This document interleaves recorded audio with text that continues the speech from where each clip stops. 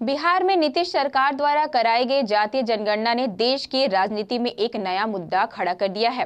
अब राजनीतिक दलों और राज्यों में चल रही सरकारों के बीच इस बात पर चर्चा शुरू हो गई है कि उन राज्यों में भी जातीय जनगणना होनी चाहिए।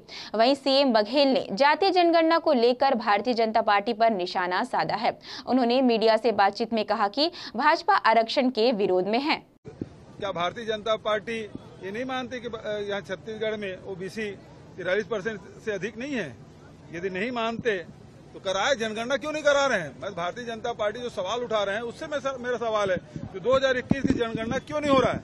जब यहाँ हम लोग हेड काउंट करा सकते हैं, जब आर्थिक सर्वेक्षण करा सकते हैं, और बिहार की सरकार जाति की जनगणना करा सकती है तो केंद्र सरकार क्यों नहीं करा रही है? सवाल तो इसी बात का है।